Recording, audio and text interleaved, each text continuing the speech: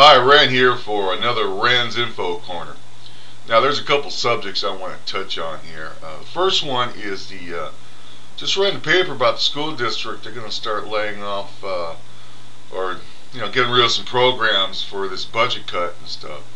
Heads up on something that uh, you should uh, cut that needs to be cut. You know, you have these uh, custodians riding around these vans cleaning schools. You could probably save a lot of money got rid of those vans and left the custodians at the schools like they used to be, and maybe your schools will get cleaned like they're supposed to. Now, I know I used to work for the school district and I was a custodian, so I know what goes on and stuff, and, uh, and I still know a lot of people in the school district. They're telling me their classrooms, classrooms are suffering because these people just don't uh, clean the classrooms uh, properly like they should be. Now this whole thing started by a couple of supervisors that uh, used to be there, but uh, they were asked to leave uh, because of their annex and stuff that they used to pull off over there at the school district. Like I said, I used to work there, so I know what goes on and stuff, and uh, you know, especially a one individual that is still working there. Uh, he was working at the same school I was, and he would leave and go clean a business during school hours. He's supposed to be at the school cleaning. How do I know this? Because he was cleaning a business that was across the street from where I live. I'd come home, you know, because I was only working uh, four hours at the time, and I would come home after I'd do my four hours, and there he was at the business waving at me, cleaning the business, when he's supposed to be working eight hours at the school. And this guy's still working at the school district.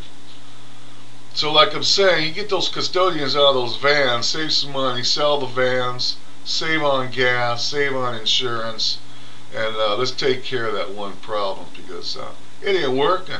They should be left at the schools to do the job. And to complain like, well, I can't do it by myself, tough. We'll find somebody who can.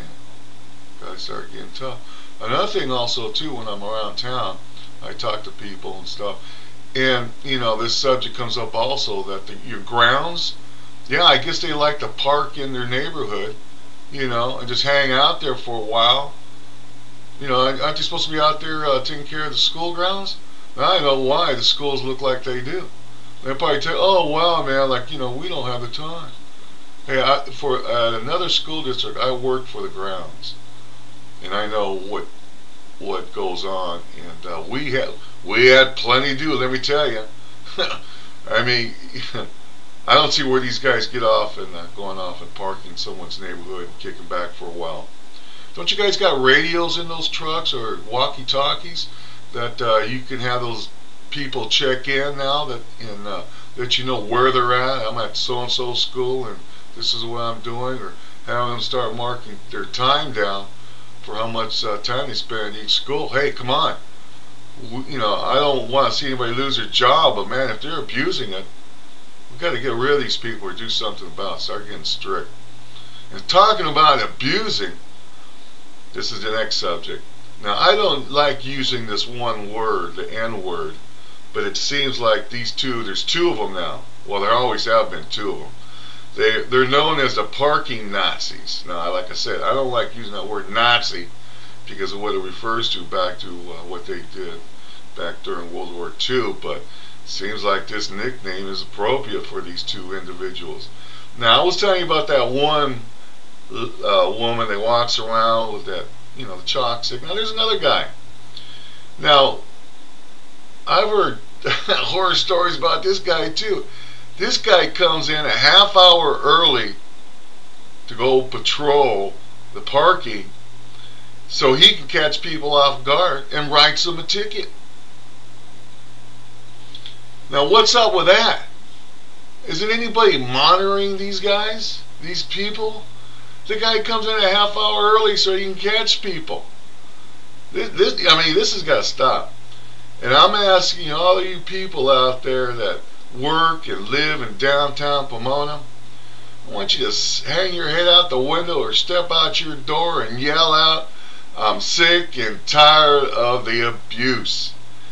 Now this is, I'm telling you, you know, we're trying to bring up the image, you know, Pomona and all that good stuff, you know, positive thinking. And then you're letting these two parking Nazis running around abusing their power. Now I'm going to look in further in this other individual, and I'm going to see if I can find me some witnesses. I'm not going to, you know, I'm going to get straight from, excuse it, from the horse's mouth if they had any uh, uh, problems with this other individual. So, I just thought I'd just let you know what's going on here in downtown Pomona about these two guess officers. I didn't even want to call them officers because they're ashamed of the police department. These two individuals. Okay, like I said, if you're sick and tired of this abuse, walk out your business, hang your head out your window, and yell out, I'm sick and tired of the abuse. Because, like I said, it's got to stop. It's got to stop now. And I won't stop until it stops. Okay, like always, this is Ren. You take care now. You take care of those ones you love. Thank you. Thank you very much. Bye.